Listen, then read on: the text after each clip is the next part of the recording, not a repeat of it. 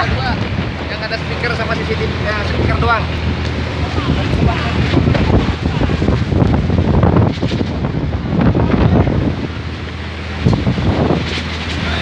Badai di Pelabuhan Ratu guys, badainya guys.